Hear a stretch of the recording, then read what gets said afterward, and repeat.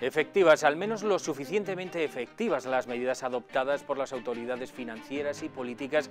Grandes medidas de urgencias parecen haber insuflado fuerzas a los mercados para que sean capaces de encadenar su segunda jornada de ganancias. El IBEX 35 se ha notado un alza de siete décimas después de haber registrado subidas de hasta el 5% y consigue reducir las pérdidas de la semana por debajo del 3%.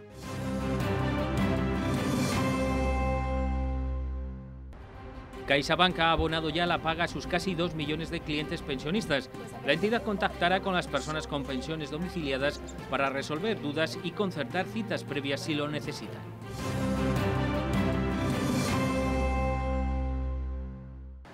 BBVA se está dirigiendo a sus clientes no digitales para facilitarles su primer acceso a su aplicación móvil y a la página web.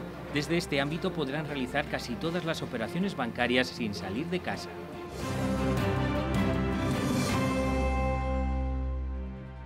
Verdad que el mercado había caído con exceso y es normal que haya algún rebote y bueno, pues, eh, no hay que descartar que en las próximas semanas volvamos a ver esa volatilidad tan fuerte que hemos tenido al comienzo de esta semana y en semanas anteriores.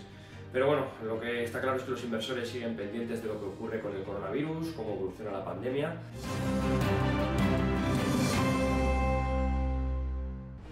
Naturgy suministrará electricidad y gas de manera gratuita a todos los hoteles y residencias que se cedan a la sanidad pública para hacer frente al coronavirus. El primer acuerdo se ha alcanzado con el grupo Otusa.